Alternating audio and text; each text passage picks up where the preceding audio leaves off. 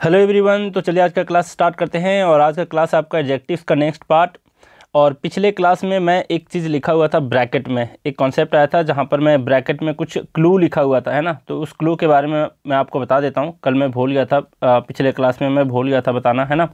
तो देखो वो क्या था? मैं एक कॉन्सेप्ट बताया था आपको कि एक एक्शन वर्ब होता है। एक्शन वर्ब के बाद एडवर्ब आता है। एडवर्ब आता है, ठीक है? और एक बताया था इसी के साथ कि लिंकिंग वर्ब अगर रहे लिंकिंग वर्ब रहे तो इसके साथ, इसके बाद जो आता है, वो आता है एडजेक्टिव तो इस पॉइंट को ध्यान में रखना चाहिए हमेशा, है ना? ये हमेशा लागू होगा आपके साथ। तो इसमें क्लू बताया था कि शॉर्ट में याद रख सकते हो एबल करके ए बी एल ई करके, ठीक है? यहाँ पर क्या है, इसका मीनिंग देख लो। ए से हो गया आपका एक्शन वर्ब एक्शन वर्ब और इसके लास्ट में आया है एडवर्ब में बी है ना? तो ए बी ऐसे याद रखना है। एक्शन वर्ब के बाद हमेशा एडवर्ब आता है। लिंकिंग वर्ब के बाद हमेशा आपका एडजेक्टिव आता है। एडजेक्टिव के लास्ट में ई आता है है ना? तो ई है।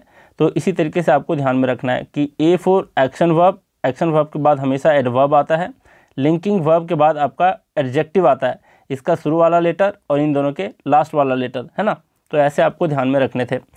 अब ज़रा मैं बता दूँ, जो लोग नए हैं, नहीं जानते तो टेलीग्राम पे आप सर्च करना त्रिगीतम। त्रिगीतम आप जैसे सर्च करते हो, टेलीग्राम पे आपको दो ग्रुप मिलेगा, दोनों ज्वाइन हो सकते हो, दोनों पर डेली बेसिस पे मिलते हैं क्विजेस, प्रैक्टिस के लिए।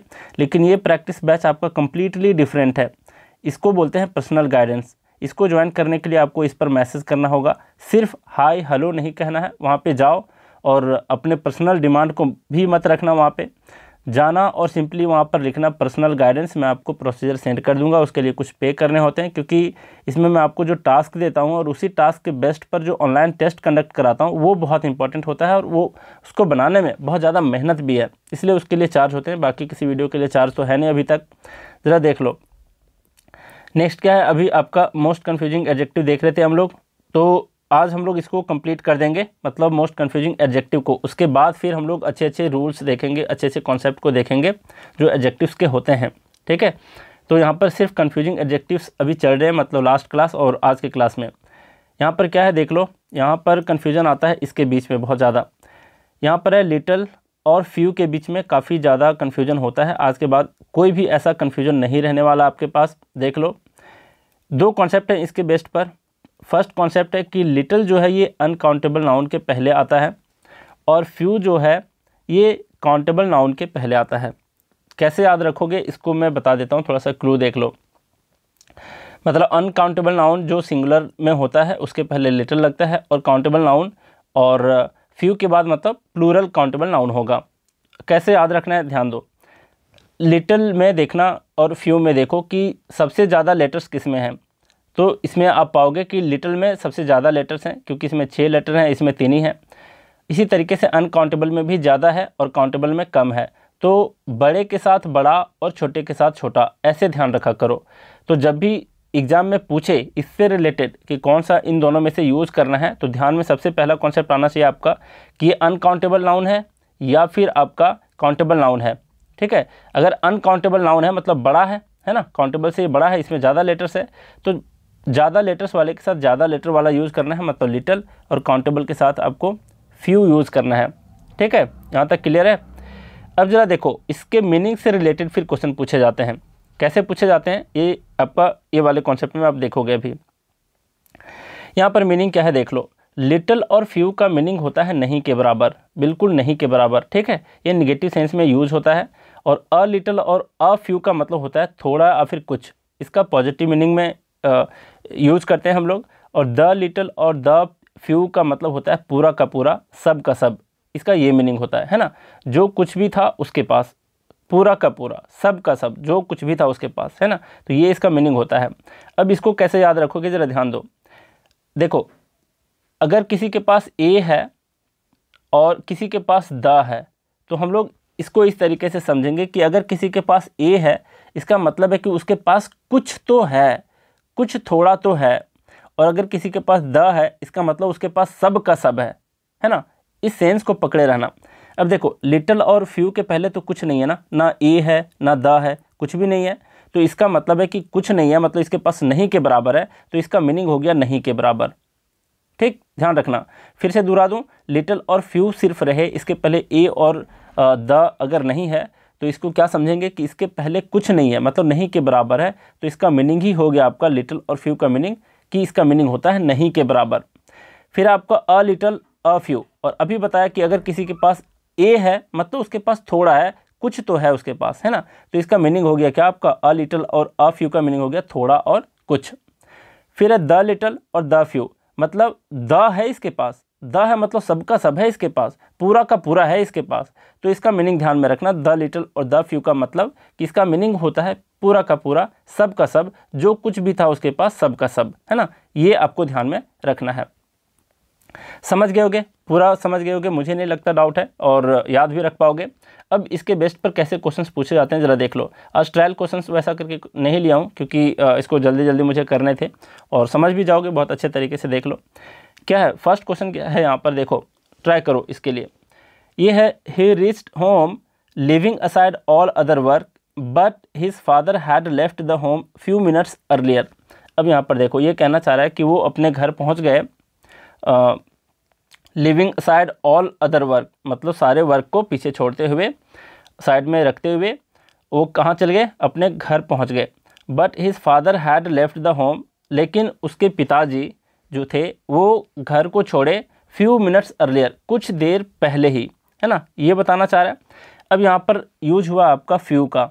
ध्यान दो फ्यू का यूज़ हुआ है।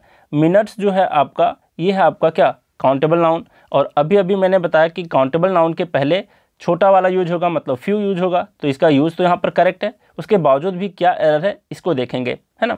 देखो, अब कहोगे, सर मिनट्स कैसे है काउंटेबल नाउन तो मैं बता दूँ कि अगर टाइम का यूज़ होता तो ये अनकाउंटेबल नाउन है। लेकिन मिनट्स है आवर है ये सारे जो वर्ड्स होते हैं मिनट आवर्स ये सारे वर्ड आपके हो जाते हैं क्या? काउंटेबल नाउन और ये हो गया आपका अनकाउंटेबल नाउन है ना?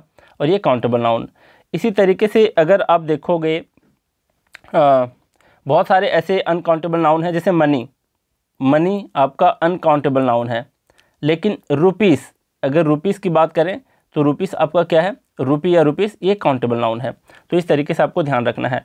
तो यहाँ देखते हैं हम कैच करेंगे कि मिनट्स आपका काउंटेबल नाउन है तो इसके पहले क्या आएगा? छोटा वाला। काउंटेबल छोटा है अनकाउंटेबल से तो छोटा वाला यूज़ होगा फ्यू तो फ्यू यहाँ पर करेक्ट है, लेकिन उसके बावजूद कैसे एरर है, ये समझो। मीनिंग क्या बताना चाह रहा है? कि वो कुछ ही देर पहले मतलब उनके पिताजी कुछ ही देर पहले घर से निकल चुके थे, है ना? तो कुछ के सेंस में यहाँ पर बोल रहा है ना तो कुछ के सेंस में, थोड़ा देर पहले के सेंस में, थोड़ा वाला मीनिंग कौन देता है? अ फ्यू देता है। अ फ्यू देता है ना?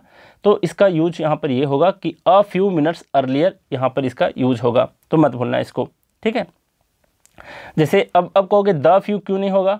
तो द फ्यू यहाँ पर कहोगे तो इसका मतलब निकलेगा कि उसके पास जितने सारे मिनट्स थे, वो सब के सब, है ना? द फ्यू का मतलब होता है ना कि सब के सब पूरा का पूरा होता है इसका मीनिंग तो सब के सब मिनट जितने थे उसके पास, उससे पहले ही वो निकल चुके थे। ऐसा नहीं सेंस निकलता ना।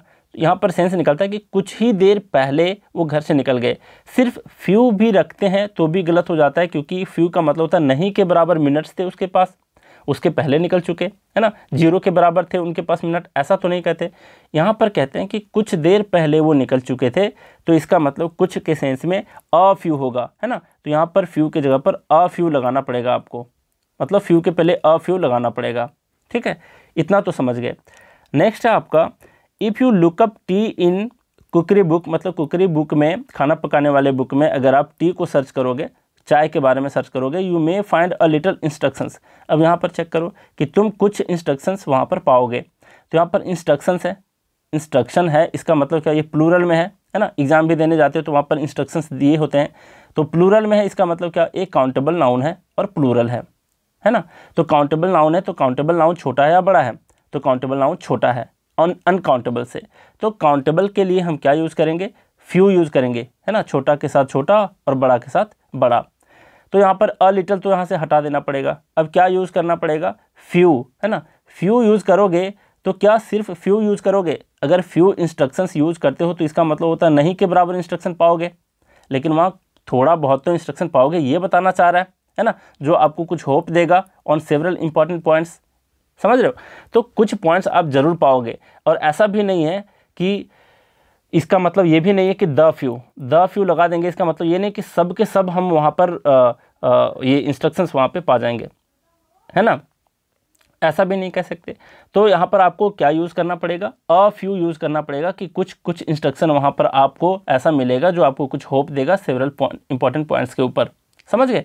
तो इन दोनों जगह में हमने देखा कि यहाँ पर फ्यू के बदले और यहाँ पर अ लिटल के बदले दोनों जगह पर अ फ्यू होगा। क्यों होगा? ये भी समझ गए। ठीक है? अब देखिए नेक्स्ट क्वेश्चन देखिए फोर्टी सेकेंड नंबर में आपको फिल इन द ब्लैंक करना है। यहाँ पर है money is needed to save his life अब यहाँ पर बताओ मनी क्या है? अनकाउंटेबल अकाउंटेबल तो काउंटेबल है अनकाउंटेबल ये अनकाउंटेबल है मतलब बड़ा वाला है है ना? अनकाउंटेबल नाउन है तो अनकाउंटेबल के पहले हम लोग लिटिल लगाते हैं। क्या लगाते हैं? लिटिल लगाते हैं।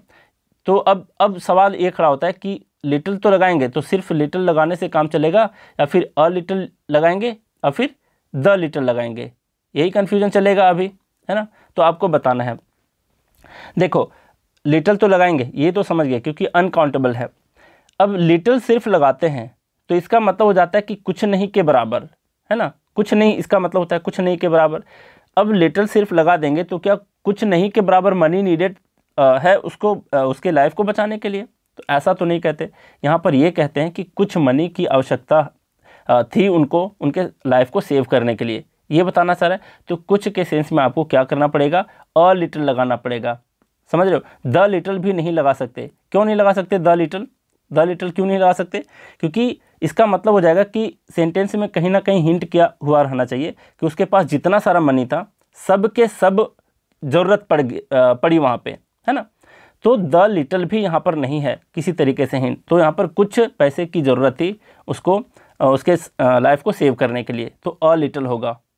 समझ रहे हो? अब जरा यहाँ पर ये क्लियर हो जाएगा सब के सेंस वाला में। देखो, यहाँ पर है मनी, यहाँ भी मनी है, अनकाउंटेबल है तो ज़ाहिर सी बात है कि लिटल होगा। अब यहाँ पर है all stolen. Money she had was all stolen मतलब सब के सब चोरी हो गए। तो ऑल स्टोलन एक जो वर्ड दे रखा है, इसी से पता चल गया ना।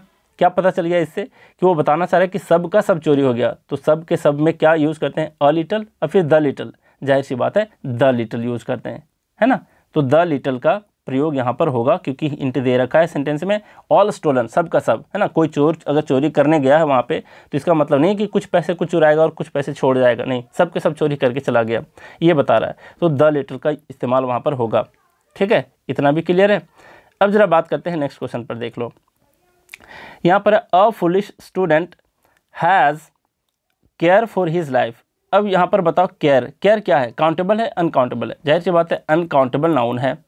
क्यों? क्योंकि केयर का हम लोग केयर्स नहीं बनाते, है ना? प्लूरल नहीं बनाते, इसलिए यहाँ पर अनकाउंटेबल नाउन है। अनकाउंटेबल है तो इसके पहले क्या लगना चाहिए? इसके पहले लगना चाहिए लिटल चलो, मान लिया लिटल लगेगा इसके पहले। तो क्या लिटल ही लगेगा सिर्फ़? और फिर अ लिटल लगेगा, और फिर द लिटल लगेगा। तो ज़रा यहाँ समझने वाली बात है।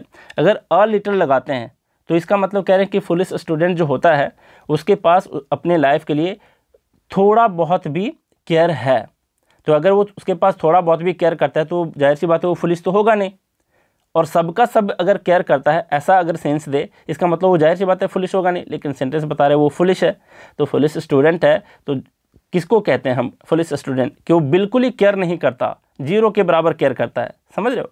तो इस सेंस में देखोगे तो यहाँ पर अ लिटल और द लिटल का इस्तेमाल नहीं होगा सिंपली आपका यूज़ होगा लिटल तो इस चीज़ को ध्यान रखो, है ना? लिटल का इस्तेमाल होगा, ना कि अ लिटल और ना कि द लिटल क्लियर है?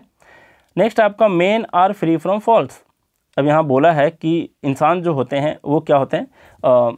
फ्री फ्रॉम फॉल्स होते हैं मतलब दोष मुक्त होते हैं। ऐसा कहेंगे इसको। अब देखो मेन क्या है? काउंटेबल और अनकाउंटेबल काउंटेबल है। काउंटेबल के लिए हम लोग क्या इस्तेमाल करते हैं? फ्यू लगाते हैं, है ना? तो अगर सिंपली फ्यू लगा देते हैं तो इसका मतलब हो जाएगा कि नहीं के बराबर मेन जो है, वो फॉल्ट फ्री फ्रॉम फॉल्ट है। ऐसा तो ये नहीं बताना चाह रहा, ये बताना चाह रहा है कि कुछ ऐसे इंसान हैं, कुछ ऐसे आदमी लोग होते हैं जो दोष मुक्त होते हैं। तो कुछ के सेंस में बता रहा है। इसलिए यहाँ पर अ फ्यू होगा। द फ्यू भी नहीं होगा। क्यों? क्योंकि द फ्यू लगाएँगे, इसका मतलब सब के सब जितने मैन हैं, वो सारे फ्री फ्रॉम फॉल्स हैं। तो वो भी गड़बड़ हो गया, है ना? इसलिए यहाँ पर अ फ्यू होगा आपका, ना कि द फ्यू और सिंपली फ्यू भी नहीं होगा। तो इसका आंसर यहाँ पर क्या होगा? अ फ्यू क्लियर है? अब नेक्स्ट है आपका words he spoke were full of wisdom मतलब जितने सारे शब्द वो बोले वो फुल ऑफ़ क्या थे? विजडम्स तो इस वाले पॉइंट को भी पकड़ के आप समझ सकते थे कि फुल ऑफ़ विजडम का मतलब है कि जितने सारी बातें वो बताया होगा सब के सब फुल ऑफ़ विजडम होंगे। मतलब कोई अगर भाषण दे रहा है तो इसका मतलब नहीं कि फिफ्टी परसेंट फोर्टी परसेंट बुद्धिमत्ता वाली बातें करे और बाकी आ, क्या करे? मूर्खता मूर्खता वाली बातें करे। ऐसा तो कोई करता नहीं है। तो किसी को अगर हम रेस्पेक्ट देते हैं तो ये ये कहते हैं कि वो जितने भी सारे वर्ड्स बोल गए, सबके सब फुल ऑफ़ विजडम थे। तो इस वाले पॉइंट को भी पकड़ के आप कह सकते थे कि हाँ बताना चाह रहा है कि सब के सब वाले सेंस में। अब सब के सेंस सब के सब के सेंस में वो लोग क्या करते हैं? हाँ तो द लिटल या द फ्यू लगाते हैं। लेकिन यहाँ पर वर्ड्स है क्या? वर्ड्स आपका काउंटेबल नाउन तो काउंटेबल नाउन के पहले हम लोग क्या लगाते हैं? फ्यू लगाते हैं, है ना? तो इस हिसाब से यहाँ पर द फ्यू हो जाएगा। समझ रहे हो? तो the few words he spoke were full of wisdom ये इसका आंसर होगा द फ्यू क्लियर अब ज़रा बात करते हैं आगे देख लो। आगे का कॉन्सेप्ट क्या है देखो। अब इसको एक बार फिर रिकैप कर लो, देख लो। क्या था ये दोनों कॉन्सेप्ट यहाँ पर ध्यान रखना है कि अनकाउंटेबल बड़ा है तो लिटल बड़ा है। लिटल के साथ अनकाउंटेबल के पहले लिटल और काउंटेबल नाउन के पहले फ्यू का इस्तेमाल होता है। इतना क्लियर है? फिर लेटल और फ्यू का मतलब नहीं के बराबर है। कैसे याद रखेंगे? क्योंकि इसके पहले ना ए है, ना दा है मतलब नहीं के बराबर है। इसके पहले कुछ भी, है ना? तो लिटल और फ्यू का मतलब होता है नहीं के बराबर। अ लिटल अ फ्यू है, इसका मतलब इसके पास थोड़ा कुछ तो है और थोड़ा, वो थोड़ा बहुत कुछ क्या है? ए है ना? ए है मतलब इसके पास थोड़ा कुछ है। द लिटल है मतलब इसके पास सब का सब है, पूरा का पूरा है। जो कुछ भी था उसके पास पूरा का पूरा है। तो मीनिंग भी समझ गए? कैसे इस्तेमाल करना है? ये भी समझ गए। अब ज़रा बात करते हैं, आगे देख लो। आगे है, आपका यहाँ पर कॉन्सेप्ट नंबर फिफ्टीन ये कह रहा है कि द मोस्ट अ मोस्ट और सिंपली मोस्ट के बीच क्या डिफरेंस है, इसको देखेंगे, है ना? देखो, यहाँ पर है कि द मोस्ट का मतलब है कि ये सुपरलेटिव डिग्री को बताता है। अ मोस्ट का मतलब इसका मीनिंग ही होता है वेरी अगर अ मोस्ट आप कहीं देख रहे हैं और आप ये सोच रहे हैं कि मोस्ट के पहले तो हमेशा द लगता है तो वो गलत है। अगर अ अ भी लगा हुआ है ए भी इसके पहले लगा हुआ है तो इसका मतलब होता है वेरी है ना? और वेरी का इस्तेमाल हम जानते हैं कि सुपरलेटिव डिग्री में नहीं करते कंपेरेटिव डिग्री में नहीं करते। क्या हाँ करते हैं? पॉजिटिव डिग्री में। तो अ मोस्ट का मतलब वेरी होता है और इसका इस्तेमाल करते हैं पॉजिटिव डिग्री में। द मोस्ट का मतलब सुपरलेटिव डिग्री होता है। ठीक है? और यहाँ पर सिंपली मोस्ट है। तो मोस्ट अगर ना ए मोस्ट है, ना द मोस्ट है। तो समझ जाना कि इसका मतलब होता है अधिकांश। वो बताना चाह रहा था, जितने भी लोग हैं, जितने भी कुछ हैं, उसमें से अधिकांश। है ना? तो इसका मतलब होता है कि मोस्ट का अर्थ जब अधिकांश हो तो इसके पहले द का यूज़ नहीं करते और ना ही ए का इस्तेमाल करते हैं। ठीक है? सिर्फ़ मोस्ट का यूज़ करेंगे, जब वो अधिकांश का सेंस देता है। अभी आप सबको समझ जाओगे और मैंने एक ऐसा एग्ज़ाम्पल लिया है जिससे आप ये दो कॉन्सेप्ट को समझ पाओगे। देखो सीक्वेंस को समझो सबसे पहली बात। ये कॉन्सेप्ट मुझे बाद में बताने थे, लेकिन मैं इसी में बता दे रहा हूँ, क्योंकि ऐसा मैं सेलेक्ट किया हूँ, क्या कहते हो एग्ज़ाम्पल जिसमें दोनों काम आ जाएँगे, दोनों कॉन्सेप्ट यहाँ पर है गुड बेटर बेस्ट इसका मतलब ये हुआ कि पॉजिटिव डिग्री है ये और ये है कंपैरेटिव डिग्री और ये है आपका सुपरलेटिव डिग्री तो यहाँ पर मतलब ये है कि जब भी हम मूव करेंगे तो पॉजिटिव डिग्री से कंपेरेटिव डिग्री जा सकते हैं कंपैरेटिव डिग्री से सुपरलेटिव डिग्री को जा सकते हैं, या फिर डायरेक्टली कंपैरेटिव यहाँ पर पॉजिटिव डिग्री से डायरेक्टली सुपरलेटिव डिग्री भी जा सकते हैं. अगर एक सेंटेंस में दोनों का इस्तेमाल हुआ हो पॉजिटिव डिग्री या फिर कंपेरेटिव डिग्री या फिर कंपेरेटिव और सुपरलेटिव तो डायरेक्टली हम पॉजिटिव से जा सकते हैं कॉम्पेरेटिव कंपेरेटिव से जा सकते हैं सुपरलेटिव और पॉजिटिव से सुपरलेटिव भी जा सकते हैं, लेकिन हम रिवर्स नहीं जा सकते। सुपरलेटिव से कंपेरेटिव नहीं जा नहीं जा सकते कंपेरेटिव से हम लोग पॉजिटिव भी नहीं जा सकते और डायरेक्टली सुपरलेटिव से हम लोग पॉजिटिव डिग्री को भी नहीं जा सकते। तो इस सीक्वेंस को ध्यान में आपको रखना है। अगर एक सेंटेंस में दोनों का इस्तेमाल हुआ हो, दो डिग्रीज का इस्तेमाल हुआ हो तो यहाँ पर वही समझाने की कोशिश किया हूँ कि गुड से बेटर जा सकते हैं बेटर से बेस्ट जा सकते हैं और गुड से डायरेक्टली बेस्ट भी जा सकते हैं, लेकिन रिवर्स नहीं जा सकते। ठीक है? ये नहीं जा सकते हम लोग। इतना ध्यान रखना। ठीक? बेटर से गुड भी नहीं जा सकते। समझ गए? तो क्या बताया इस कॉन्सेप्ट में कि सीक्वेंस आपको हमेशा ध्यान रखना है कि पॉजिटिव से कंपेरेटिव जा सकते हैं कंपेरेटिव से सुपरलेटिव जा सकते हैं और डायरेक्टली पॉजिटिव से सुपरलेटिव भी जा सकते हैं, लेकिन रिवर्स हम नहीं मूव कर सकते। देखो, कैसे समझोगे? ये सारे कॉन्सेप्ट को। इसके लिए आपके लिए क्वेश्चन है, देखो। यहाँ पर क्या बताया है कि you must revise it well as it is the most important chapter अब ये गलत क्यों है? ये मैं सेंटेंस को पहले भी डिस्कस कर चुका हूँ, है ना? सेम सेंटेंस है, देखो। यहाँ पर क्या है? यहाँ पर द मोस्ट का इस्तेमाल हुआ है। तो हम लोग जानते हैं कि सुपरलेटिव का कब हम लोग इस्तेमाल करते हैं? सुपरलेटिव डिग्री का इस्तेमाल जब, तब करते हैं जब एक को हम वन वर्सेस ऑल का हम लोग क्या करते हैं? कंपेयर करते हैं। लेकिन यहाँ पर तो किसी से कंपेरिजन है ही नहीं। एक सिंगल चैप्टर के बारे में बोला है, जो बोला है कि ये बहुत ही इंपॉर्टेंट चैप्टर है है ना? तो वन वर्सेस ऑल रहता तो तो द मोस्ट हो जाता। अब ये कैसे हो सकता था? मान लिया जाए लास्ट में सेंटेंस में रहता कि you must revise it well as it is the most important chapter in your syllabus है ना? इन योर सिलेबस बस इतना सा लिखा रहता तो द मोस्ट करेक्ट हो जाता। क्यों? क्योंकि इन योर सिलेबस आपके सिलेबस में और सारे कई चैप्टर्स हैं, जिससे तुलना किया जा रहा है किसी एक के बारे में, है ना? और उसको बताया जा रहा है कि वो द मोस्ट इंपॉर्टेंट है। तो वन वर्सेस ऑल वहाँ पर हो जाता, लेकिन यहाँ पर इन योर सिलेबस जैसे कोई शब्द यहाँ पर लिखा हुआ नहीं है। इसका मतलब ये किसी सिंगल चैप्टर का डिस्क्रिप्शन है डिस्क्राइब किया हुआ है, और किसी से कंपेयर यहाँ पर नहीं किया गया। इसलिए यहाँ पर क्या होगा? सुपरलेटिव डिग्री का इस्तेमाल नहीं होगा। तो क्या होना चाहिए? यहाँ पर होना चाहिए पॉजिटिव डिग्री का। है ना? कंपेयर भी किसी से नहीं किया जा रहा, दूसरे से तो भी यहाँ पर कंपेरेटिव डिग्री नहीं हो सकता। तो सिंपली यहाँ पर क्या होगा? पॉजिटिव डिग्री और पॉजिटिव डिग्री के लिए अभी अभी मैंने बताया कि वेरी लिख सकते हो, है ना? Very important you must revise it well as it is very important chapter ऐसा कह सकते हैं। अब वेरी लिख सकते हैं तो ज़ाहिर सी बात है कि अ मोस्ट भी लिख सकते हैं। ठीक है? क्या कर सकते हैं? अ मोस्ट भी लिख सकते हैं, क्योंकि अ मोस्ट का मतलब होता है वेरी गैप है, अ और मोस्ट में गैप है ऐसा नहीं कि अमोस्ट समझ लेना कोई वर्ड होता है। तो यहाँ पर क्या होगा? You must revise it well as it is very important chapter and you must revise it well as it is a most important chapter तो द मोस्ट और अ मोस्ट में क्या फ़र्क है समझ गए? अ मोस्ट का हम लोग यूज़ करेंगे वेरी के सेंस में, है ना? और पॉजिटिव डिग्री में। और द मोस्ट का मतलब सुपरलेटिव डिग्री में। अब नेक्स्ट देखो। नेक्स्ट में दोनों कॉन्सेप्ट आपके क्लियर हो जाएँगे, देखो।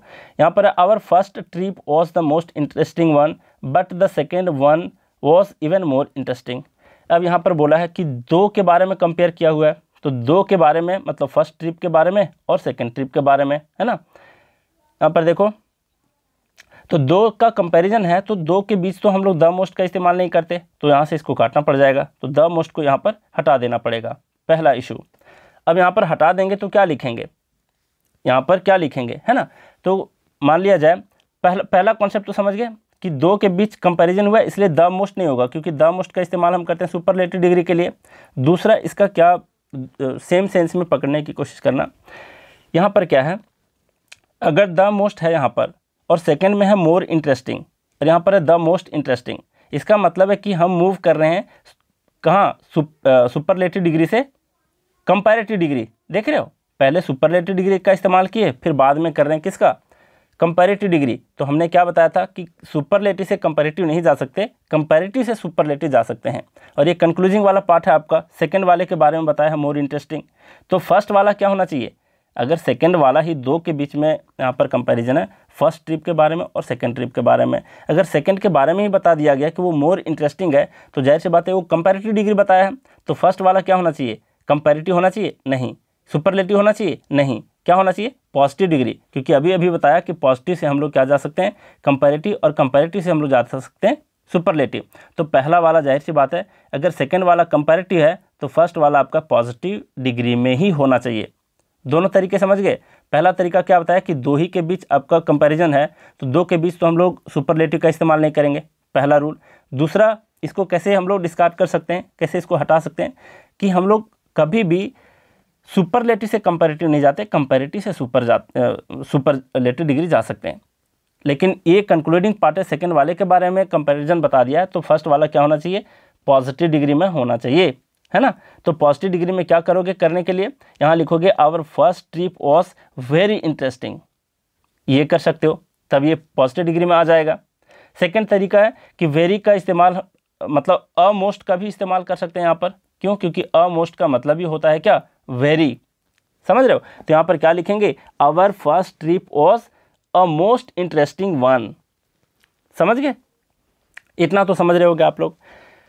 अब चलो, यहाँ पर समझ गए दोनों कॉन्सेप्ट को। नेक्स्ट है आपका यहाँ पर देखो the most of the injured person are out of danger यहाँ पर बोला है कि अधिकांश इंजर्ड पर्सन थे वो क्या थे? खतरे से बाहर थे, है ना?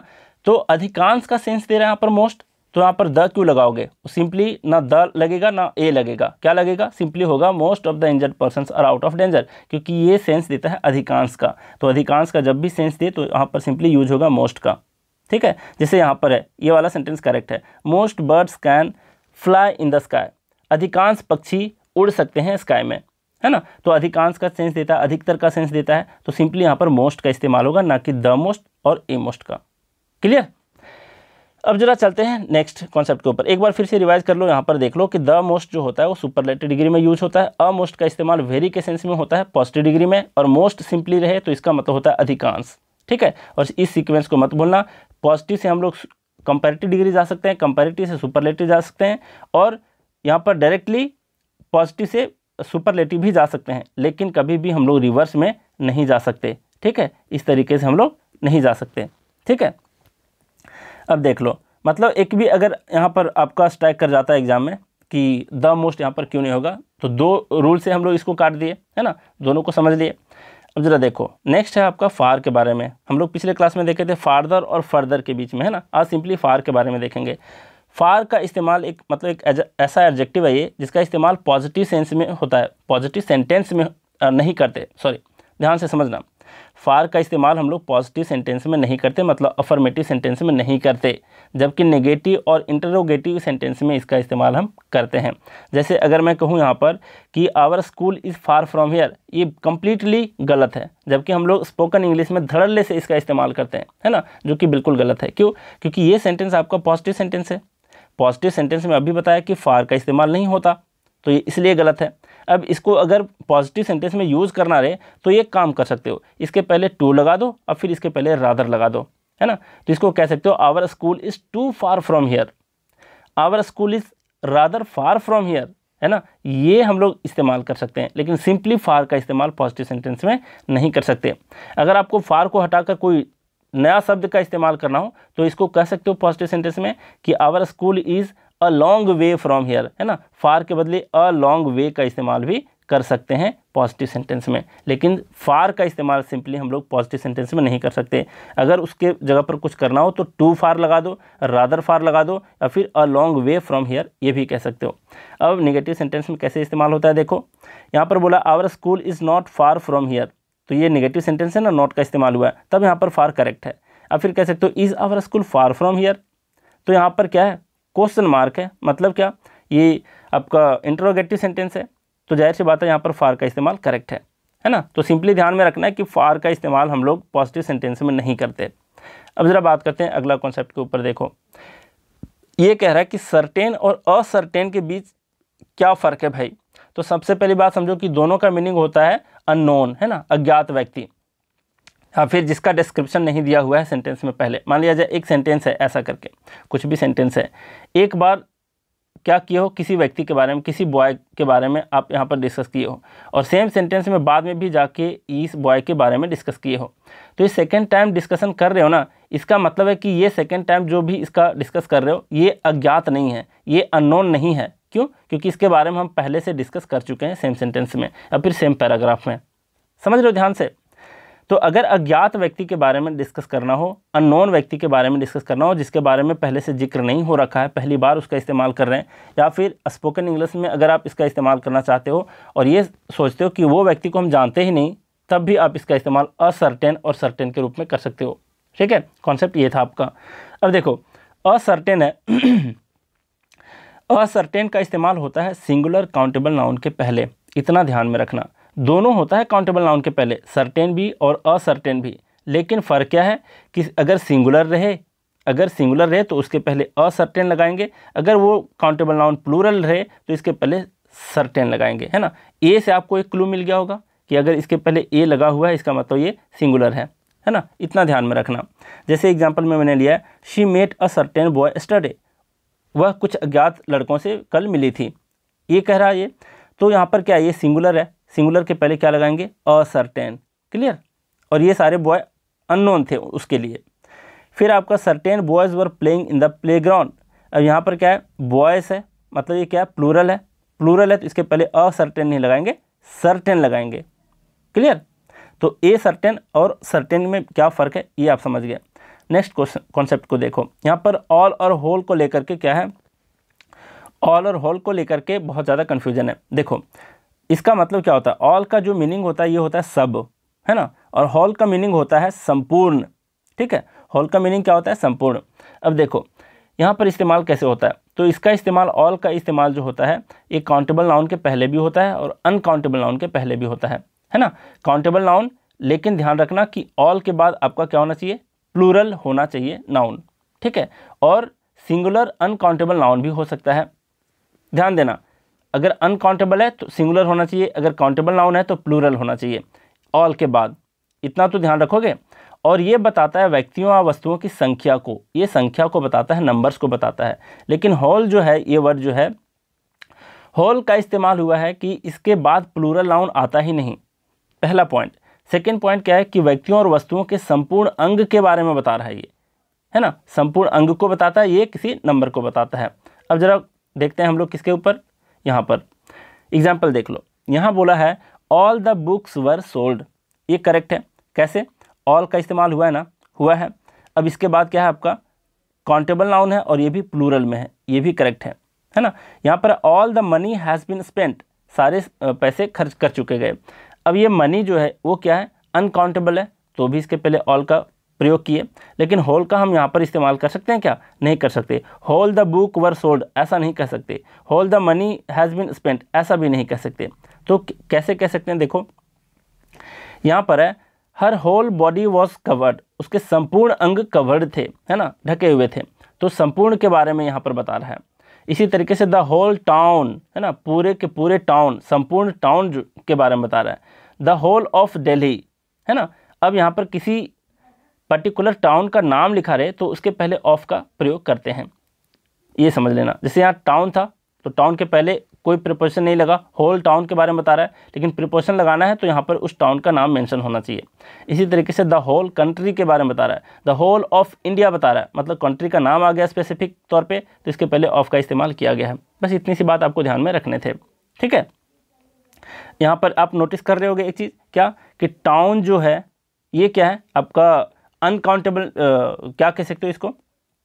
कि प्लूरल में नहीं है टाउन्स नहीं है, ध्यान देना, ये टाउन्स में नहीं है। वही तो कॉन्सेप्ट में अभी भी बताया, देखो, कि होल का प्रयोग जो होता है, ये प्लूरल नाउन इसके बाद नहीं आता। तो टाउन लिखे यहाँ पे करेक्ट और दिल्ली तो आपका प्रॉपर नाउन है।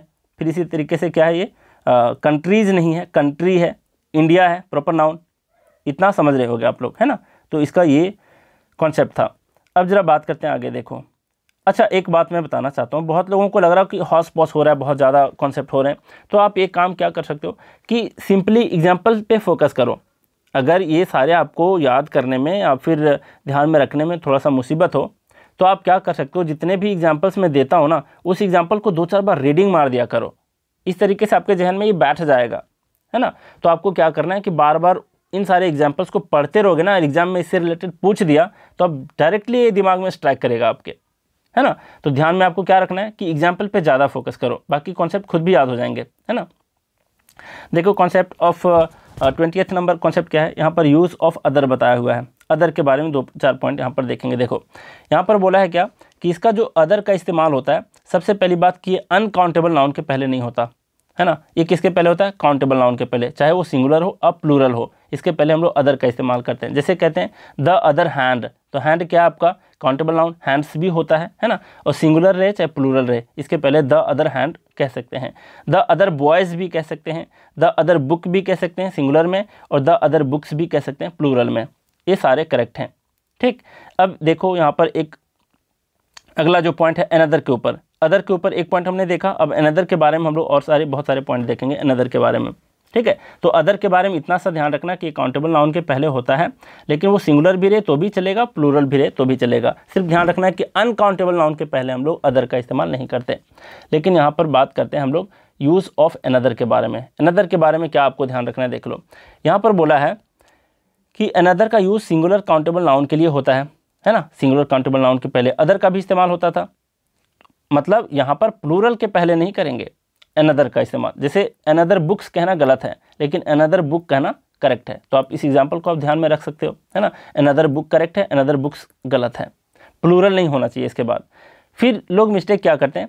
कई बार अनदर के पहले एन का इस्तेमाल कर देते हैं। एन अनदर बुक कर देते हैं ऐसे करके, जो कि गलत है। कैसे? क्योंकि अनदर में ही ऑलरेडी एन छुपा हुआ है। तो आप एक्स्ट्रा एन क्यों लगा रहे हो? समझ रहे हो ना?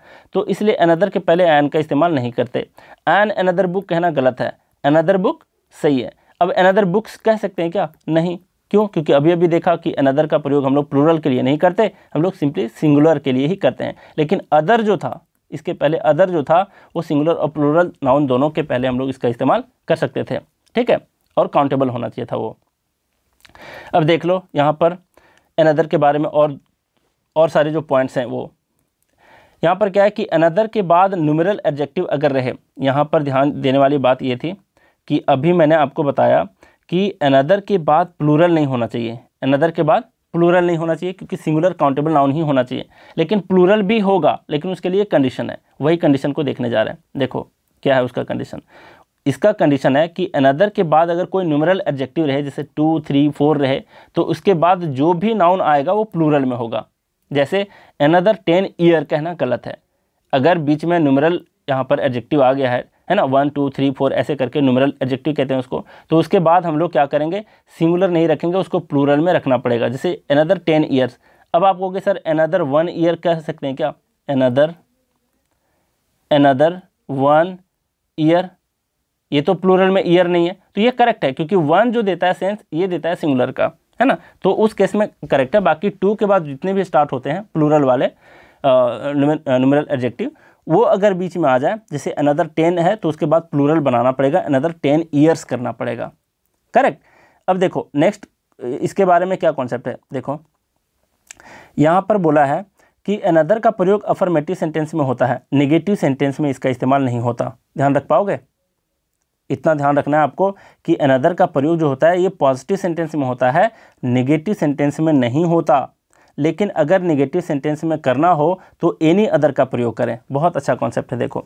यहाँ पर बोला है, यहाँ पर बोला she doesn't want another book ये आपका बिल्कुल गलत है। कैसे? क्योंकि इसका सेंटेंस में हम लोग निगेटिव सेंटेंस में इसका यूज़ हम लोग नहीं करते। किसका? अनदर का। है ना? तो अनदर का नेगेटिव सेंटेंस में नहीं करते सिंपली किसमें करते हैं? पॉजिटिव सेंटेंस में। तो इसलिए ये गलत हो गया। लेकिन बोला है कि अगर आपको करना है, अगर यूज़ अदर शब्द का इस्तेमाल करना है तो अनदर के बदले एनी अदर कर दो, ये करेक्ट हो जाएगा। नेगेटिव सेंटेंस में भी। है ना? तो यहाँ पर है she doesn't want any other book ये आपका करेक्ट हो जाएगा। और यहाँ पर है शी वॉन्ट्स अनदर बुक मतलब पॉजिटिव सेंटेंस है तो ये बिल्कुल करेक्ट है. लेकिन नेगेटिव सेंटेंस में इसका इस्तेमाल नहीं करते. लेकिन नेगेटिव सेंटेंस में अगर इस्तेमाल करना है तो आप अनदर के जगह पर एनी अदर कर दो, तब जा करके करेक्ट हो जाएगा. तो ये तीन सेंटेंस को मैं फिर से पढ़ देता हूँ मतलब दो सेंटेंस को. She wants another book correct है. She doesn't want any other book ये करेक्ट है. अगर कहें she doesn't want another book तो ये गलत हो जाएगा. है ना? इस एग्ज़ाम्पल को ध्यान में रखना. करेक्ट अब ज़रा देख लो. नेक्स्ट कॉन्सेप्ट है आपका मच और मेनी के बीच क्या डिफरेंस है देख लो। सबसे पहली बात कि मच जो सेंस देता है, ये क्वांटिटी को देता है है ना? क्वांटिटी यानी कि अनकाउंटेबल नाउन के बारे में ये बता रहा होता है। और मेनी जो है मेनी बता रहा होता है नंबर्स के बारे में। इन नंबर्स के बारे में बता रहा होता है और मच बताता है क्वांटिटी और फिर अमाउंट के बारे में अनकाउंटेबल नाउन के बारे में और मेनी जो है वो काउंटेबल नाउन के बारे में है। वही चीज़ें यहाँ पर देख लो कि मच के बाद अनकाउंटेबल सिंगुलर नाउन होना चाहिए मेनी के बाद काउंटेबल प्लूरल नाउन होना चाहिए। दोनों को ध्यान में रखना है। मतलब अगर मेनी आ गया तो उसके बाद वाला नाउन प्लूरल में ही होना चाहिए। है ना? इतना तो ये बेसिक बात है। देखो, जैसे यहाँ पर there were not much chocolates left in the box अब यहाँ पर चॉकलेट नाउन है। काउंटेबल है। काउंट कर सकते हैं चॉकलेट को। है ना? अब इसको काउंट कर सकते हैं। तो ये काउंटेबल नाउन हुआ। तो काउंटेबल नाउन के पहले मच का इस्तेमाल कैसे कर गए? यहाँ पर क्या लिखना पड़ेगा? There were not many chocolates left there were not many chocolates left in the box तो मच की जगह पर यहाँ पर मेनी होना चाहिए, ठीक है? फिर यहाँ पर we did many enjoyment in the picnic enjoyment तो एन्जॉयमेंट से नहीं करते, इसका प्लूरल कभी नहीं बनाया जाता। अगर प्लूरल नहीं बनाया जाता तो ये अनकाउंटेबल नाउन है। अनकाउंटेबल नाउन है तो इसके पहले हम लोग मेनी का इस्तेमाल कैसे कर गए? यहाँ पर करना होगा मच एन्जॉयमेंट्स है ना? Much enjoyment we did much enjoyment in the picnic correct अब यहाँ पर देखो ये मतलब बचपन से जानते थे, अभी जो मैंने बताया। अब यहाँ पर मेनी ए का प्रयोग है, मेनी ए का प्रयोग। देखो, मेनी के साथ ए लगा हुआ है तो ये कह रहा है कि इसके बाद आने वाला जो भी नाउन और वर्ब होगा, वो दोनों ही सिंगुलर होते हैं। ध्यान देना, दोनों ही सिंगुलर होंगे। जैसे यहाँ पर है, many boys have come to attend the class. अब यहाँ पर मेनी के साथ ए नहीं लगा है तो ज़ाहिर सी बात है कि मेनी के बाद आपको बताया कि प्लूरल होना चाहिए और काउंटेबल नाउन होना चाहिए, ये तो बिल्कुल करेक्ट है। लेकिन अगर मेनी के साथ ए लगा दिए और यहाँ पर बॉयज़ है है ना? तब तो ये सही है। लेकिन यहाँ पर देखो आ, सही नहीं है। देखो मैनी के साथ मैनी ए के साथ हम लोग नाउन को भी सिंगुलर में रखेंगे मतलब मैनी अ बॉय होगा ना कि बॉयज़ पहला पॉइंट सेकंड कि वर्ब भी इसके साथ हैव आया है जो कि गलत है यहाँ पर हैज़ होना चाहिए। है ना? सिंगुलर में होना चाहिए। तो वही बता रहा है कि अगर मैनी के साथ ए लग गया तो उसके बाद आने वाला जो भी नाउन और वर्ब होगा दोनों सिंगुलर होने चाहिए तब करेक्ट होगा। तो यहाँ पर क्या करेक्ट होगा? Many a boy has come to attend the class ध्यान देना इस पॉइंट को। लगेगा, ऐसा तुम्हें लग सकता है एग्ज़ाम में कि मैनी है तो इसके बाद मैनी ए है तो मैनी ए के बारे में स्पेसिफिकली अपने नहीं पढ़ के गया हुआ है, सिर्फ़ मैनी के बारे में पढ़ के गया हुआ है तो आपको लगेगा कि इसके पास तो पास पास तो वॉइस जो है, ये करेक्ट होना चाहिए। हैव भी करेक्ट होना चाहिए इसके हिसाब से, लेकिन ये गलत है। अगर मैनी के साथ ए आ गया तो इसको सिंगुलर में रखो बॉय और इसको भी सिंगुलर में रखो has come to class come to attend the class ये करेक्ट होगा। ठीक है? अब नेक्स्ट पॉइंट है मच के बारे में देखो कि मच का इस्तेमाल कंपैरेटिव डिग्री के पहले किया जा सकता है, लेकिन मेनी का नहीं। जैसे कहेंगे he is much more intelligent than you correct है। ऐसा हम लोग बोलते भी हैं he is much more intelligent than you है ना? स्पोकन में भी ऐसा करते हैं। तो यहाँ पर क्या मेनी का इस्तेमाल कर सकते हैं? He is many more intelligent than you नहीं, ये गलत हो जाएगा। I am much younger than you तो मच करेक्ट है मेनी अंगर दैन यू नहीं कह सकते। ठीक है?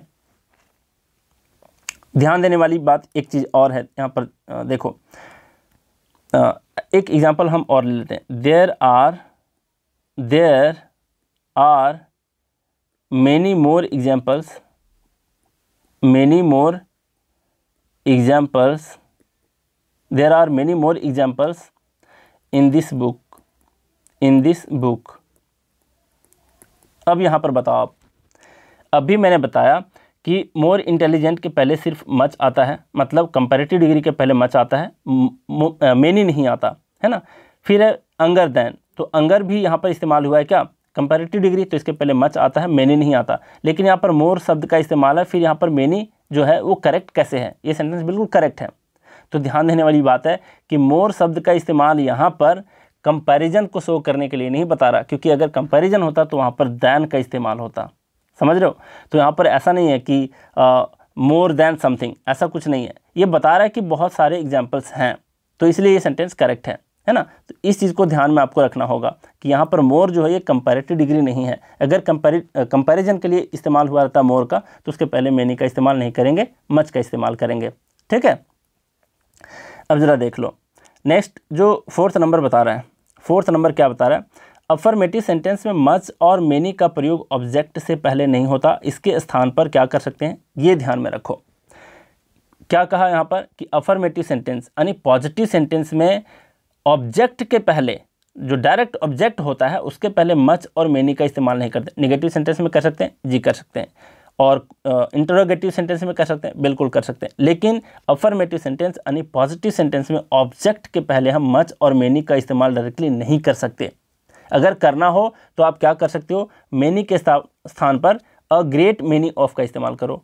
अ गुड मैनी ऑफ़ का इस्तेमाल करो। अ लार्ज नंबर ऑफ़ का इस्तेमाल करो। ग्रेट नंबर्स ऑफ़ का इस्तेमाल करो। अ लार्ज नंबर ऑफ़ का इस्तेमाल करो। लार्ज नंबर नंबर्स ऑफ़ का इस्तेमाल करो। और फिर न्यूमरस वाले वर्ड का इस्तेमाल करो। है ना? यहाँ पर कॉम है, आप लोग ध्यान देना। यहाँ पर ऑफ़ के बाद। अगर मच का इस्तेमाल करना हो अफर्मेटिव सेंटेंस में पॉजिटिव सेंटेंस में तो डायरेक्टली मच का इस्तेमाल नहीं कर सकते ऑब्जेक्ट के पहले। क्या करना पड़ेगा? अगर इस्तेमाल करना ही है तो इसके जगह पर करो a great deal of a good deal of a large quantity of ये सारे वर्ड्स का इस्तेमाल कर सकते हो। ध्यान देने वाली बात यह है कि a lot of lots of plenty of enough of मैं दो चार बार पढ़ देता हूँ ताकि आप भूलो नहीं।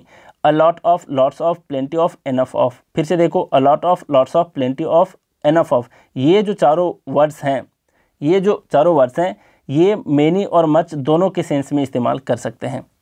ध्यान रखोगे? और बाकी ये सारे को सिंपली हम क्या कर सकते हैं? मैनी के पहले बदले यूज़ कर सकते हैं। और ये जो वर्ड्स हैं, इसको हम सिर्फ़ और सिर्फ़ मच के जगह पर इस्तेमाल कर सकते हैं। लेकिन ये चारों जो वर्ड्स हैं, ये हम दोनों के बदले इस्तेमाल कर सकते हैं। तो क्या बताया यहाँ पर देखो, फिर से कॉन्सेप्ट को देखो कि पॉजिटिव सेंटेंस में अफर्मेटिव सेंटेंस में ऑब्जेक्ट के पहले हम मच और मेनी का इस्तेमाल नहीं करेंगे। अगर करना ही है तो ये सारे वर्ड का इस्तेमाल करेंगे। ठीक है? देखो, जैसे यहाँ पर क्या है? यहाँ पर लिखा हुआ आई नो मेनी मैन मैं बहुत सारे आदमियों को जानता हूँ। तो यहाँ पर क्या है आपका? यहाँ पर गलत कैसे हो गया? क्योंकि यहाँ पर ऑब्जेक्ट मेन है है ना? मेन है तो इसके पहले हम लोग मेनी या मच का इस्तेमाल नहीं करेंगे। अगर करना हो तो क्या करोगे? यहाँ पर लिखो I know a lot of man many के जगह पर अलॉट ऑफ़ का इस्तेमाल कर सकते हैं। मच के स्थान पर भी अलॉट ऑफ़ का इस्तेमाल किया जाता है। या फिर आप कह सकते हो I know a large number of man a large number of भी कर सकते हो। ये करेक्ट होगा। समझ रहे हो? और ये सेंटेंस कैसा अफर्मेटिव मतलब पॉजिटिव सेंटेंस है। फिर यहाँ पर ही हैज़ मच मनी अब मनी अनकाउंटेबल नाउन है, इसके पहले मच आया तो आपको लग रहा होगा करेक्ट होना चाहिए, लेकिन बिल्कुल गलत है। क्यों?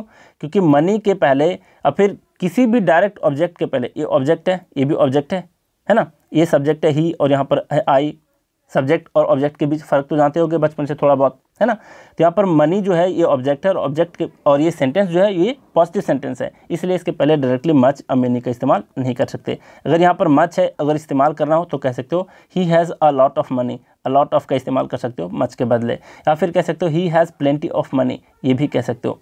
है ना? तो मच के बदले क्या इस्तेमाल करेंगे? मैनी के बदले क्या इस्तेमाल करेंगे? दोनों के बदले क्या इस्तेमाल कर सकते हैं? ये मैं यहाँ पर मैंशन कर दिया हूँ। अच्छे तरीके से ध्यान में रखने की कोशिश करना एक दो बार पढ़ोगे, समझ में आ जाएगा। कैसे ध्यान में रखोगे? मेनी है। अब ये अ, ग्रेट मेनी। है ना? तो यहाँ भी मेनी छुपा हुआ मतलब ये मेनी की जगह पर इस्तेमाल कर सकते हैं। A good many of many का इस्तेमाल कर सकते हैं मेनी की जगह पर। लार्ज नंबर अब मेनी नंबर कोई तो बताता है। क्वांटिटी को और अमाउंट को तो नहीं बताता। तो ये नंबर है तो नंबर का इस्तेमाल हम मच के साथ नहीं कर सकते। ये मेनी के साथ कर सकते हैं। फिर है नंबर तो नंबर है मतलब मेनी के साथ इस्तेमाल करेंगे, मच के साथ तो नहीं करेंगे। फिर है large number of number of numerous सारे नंबर वाले बातें ही हैं, है ना? तो ये याद रखने की रट्टा मारने मत बैठ जाना लिख करके, है ना? सुबोपल्ली मेथड इसमें भी मत अप्लाई करने लग जाना। थोड़ा सा कॉमन सेंस का इस्तेमाल करना कि ये सारे जो चीज़ें हैं, ये क्वांटिटी को नहीं बताते, ये सारे क्वांटिटी या अमाउंट को नहीं बताते, ये सिंपली नंबर्स को बता रहे हैं। तो ये मैनी की जगह पर इस्तेमाल होगा? क्योंकि मैनी का इस्तेमाल हम नंबर के लिए इस्तेमाल करते हैं। मच का इस्तेमाल करते हैं क्वांटिटी या अमाउंट के लिए। तो डील डील है ना? क्वांटिटी ये सारे हम लोग इस्तेमाल करते हैं किसके लिए? ये सारा शो कर रहा है कि हम क्वांटिटी के लिए इस्तेमाल करते हैं या फिर अमाउंट को बताने के लिए और मच का भी इस्तेमाल करते हैं अमाउंट को बताने के लिए। सिर्फ़ आपको एक्सेप्शन में ध्यान रखना है ये चारों को कि ये चारों का हम इस्तेमाल मेनी और मच दोनों के लिए इस्तेमाल कर सकते हैं। A lot of lots of plenty of enough of है ना? प्लेंटी ऑफ़ चॉकलेट्स भी कह सकते हैं प्लेंटी ऑफ़ बुक्स भी कह सकते हैं और प्लेंटी ऑफ़ वाटर भी कह सकते हैं प्लेंटी ऑफ़ मिल्क भी कह सकते हैं, है ना? तो इससे आपको कन्फ्यूज़ नहीं करना है है ना? तो ये चारों का इस्तेमाल हम मच और मेनी की जगह पर मतलब कि नंबर के लिए भी इस्तेमाल करते हैं और क्वांटिटी यानी अमाउंट के लिए भी इस्तेमाल करते हैं ये सारे वर्ड्स को। तो ध्यान में रखना होगा आपको, है ना? रट्टा मारने मत बच जाना। तो बहुत कुछ सीखे, आगे भी सीखेंगे। अब आपका मतलब असली क्लास स्टार्ट होने वाला है। समझो एडजेक्टिव के ऊपर। ये सारे बेसिक चीज़ें जो आप बचपन से करते आए हो। थोड़ा बहुत भूल गए होगे तो आप इससे रिवाइज कर लोगे, है ना? लेकिन असली कॉन्सेप्ट क्या है? एडजेक्टिव के ऊपर। अब धीरे धीरे देखेंगे और जल्दी क्लास को आ, मतलब इस चैप्टर को हम लोग क्या करेंगे? ख़त्म करेंगे है ना? और चलो ठीक है आप लोग इस वीडियो को लाइक वगैरह कर दिया करो। काफ़ी डीमोटिवेटेड हो जाता हूँ आजकल। बहुत लोगों का क्वेश्चन रहता है सर कितना कमाओगे? कितना सारा ऐड डाल देते हो? भाई एक बात मैं बताऊँ आपको?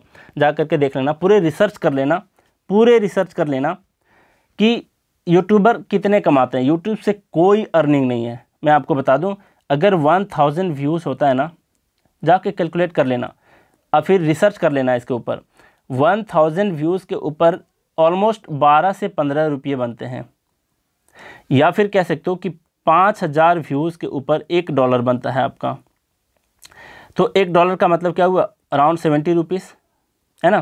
तो ये पाँच गुना है सेवेंटी सेवेंटी फाइव मान लो, और पंद्रह अगर इसको मानोगे तो पंद्रह पचहत्तर यहाँ पर ये, है ना? तो पाँच गुना मतलब हज़ार व्यूज़ में पंद्रह रुपये बनते हैं। आप जा कर के मेरे चैनल पे जा कर के चेक करो कि कितने वीडियोज़ में हज़ार व्यूज़ आ रहे हैं। मैं एक वीडियो को डालता हूँ तो पता चलता है कि तीन दिन, चार दिन हो गए, दो सौ व्यूज़ भी नहीं आ रहे, तीन सौ व्यूज़ भी नहीं आ रहे। बताओ मैं किस लिए पढ़ाऊँ? दो सौ व्यूज़ आ रहे हैं मतलब समझ हो? कितने हुए? हज़ार रुपये में अगर पंद्रह रुपया बन रहा है तो दो सौ में कितने रुपये बन रहे हैं? तो आप लोग ऐसे परेशान होगे ना कि कितने एड्स आते हैं। तो बताओ मैं आपके लिए क्यों काम करूँ? अगर आपको ऐप्स भी नहीं देखे जाते, अगर आपसे, आप सारे वीडियोस को डाउनलोड करके देखा करोगे तो आपको टीचर भला क्यों पढ़ाएगा? है ना? और प्यार तो वन साइडेड होना नहीं चाहिए। दोनों तरफ़ से होना चाहिए। मैं आपको पढ़ा रहा हूँ, आपके लिए मेहनत कर रहा हूँ, इतने सारे कंटेंट को खुद से टाइप करता हूँ। मैं इतना चाहता तो मैं ये सारे कंटेंट को, देखो, ये सारे कंटेंट्स हैं ना, ये सारे कंटेंट्स कहाँ गए? जितने सारे मैंने अभी लिखा हुआ है। लास्ट वाले में चला जाओ, देखो। ये सारा जो मैं पॉइंट लिखा हूँ, ये सारा आपको क्या लग रहा है? इतना आसान है टाइप करना? बहुत मेहनत है है ना? जितने भी एक्स्ट्रा टाइम बचते हैं ना मेरे पास, मैं आपके लिए डिवोट करता हूँ। और चाहता तो इसके लिए शॉर्ट में, कुछ शॉर्ट में लिखता, बस यहाँ पर नुमरल एडजेक्टिव लिखता और सारा कॉन्सेप्ट को डिस्कस कर देता। लेकिन बाद में आपको पीडीएफ मिलेगी तो आपको पता चलेगा, कुछ समझ नहीं आ रहा कि आखिर सर बता क्या गए थे। फिर से वापस आपको आना पड़ेगा वीडियो के ऊपर रिवाइज करने के लिए, है ना? चाहता तो उतना शॉर्ट में भी कर सकता था। लेकिन मैं चाहता हूँ आपको जो भी मिले कंप्लीट मिले। तो ये मत सोचा करो कि सर ऐड पूरा का पूरा भरपूर लगा रहे हैं, पैसे पूरा छाप रहे हैं। अगर वैसा होता है ना तो बहुत सारे यूट्यूबर यूट्यूब को छोड़ के नहीं जाते। मुझे लगता है कि डेली अगर डेली अगर दस यूट्यूब नए चैनल बनते हैं, दस नए यूट्यूब चैनल बनते हैं तो उसमें से आठ, उसमें से नहीं मतलब पीछे जो भी मेहनत कर रहे होते हैं, वो आठ यूट्यूबर डेली छोड़ते हैं। जा कर के डेटा आप पता कर सकते हो यूट्यूब पे। मतलब यूट्यूब पे अर्निंग नहीं है यूट्यूब के थ्रू अर्निंग है। है ना? तो यूट्यूब के थ्रू अर्निंग है, वो तो आप लोग देख ही रहो कहाँ से कर रहा हूँ। होता ही नहीं है। मतलब पर्सनल गाइडेंस के थ्रू थोड़े बहुत स्टूडेंट आते हैं, जिसके थ्रू कुछ पैसे मिल जाते हैं, वो अलग की बात है। लेकिन यूट्यूब से बिल्कुल अर्निंग नहीं है।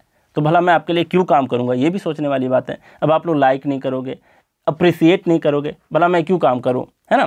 खैर, ऐसी बात नहीं है। इतने दिन तक आपको पढ़ाते आया हूँ, आगे भी पढ़ाते रहूँगा।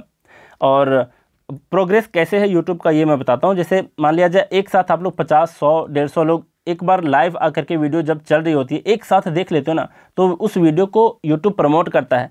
लेकिन मैं कितने बार कहूँ लोगों को पर्सनली जा करके भाई जा करके वीडियो देख लो, अभी चल रहा है, चल रहा है। ऐसा करके बताने में मुझे भी ऑकवर्ड सा लगता है कि मैं तो आ तो स्टूडेंट को परेशान कर रहा हूँ और फिर खुशामद कर रहा हूँ, है ना रिक्वेस्ट कर रहा हूँ। तो मुझे वो थोड़ा सा ऑकवर्ड लगता है।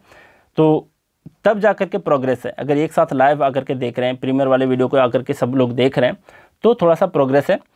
और जिस तरीके से मैं डालता हूँ, दो दिन में, तीन दिन में, चार दिन में सौ, डेढ़ सौ, दो सौ व्यूज़ आते हैं, कोई प्रोग्रेस नहीं है। ना यूट्यूब हमारे वीडियोस को भेजता है किसी तक, और आपको जान करके हैरानी होगी कि पिछले कुछ दिनों से दस सब्सक्राइबर आते हैं दिन भर में। पाँच आते हैं, आठ आते हैं। समझ जाओ कि क्या प्रोग्रेस है यहाँ पर, है ना? क्योंकि हमने तो कभी, ज़्यादा क्या कहते हैं उसको रिक्वेस्ट तो करी नहीं किसी को कि भाई शेयर करो लाइक करो, ज़बरदस्ती करो, ये करो, वो करो, जहाँ भी है, मेरे वीडियो को प्रचार करो, है ना?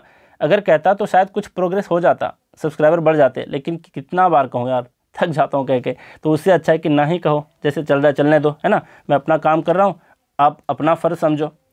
तो चलिए, बहुत एक्स्ट्रा बातें हो गई तो आज का क्लास हम यहीं रप करते हैं। Thank you very much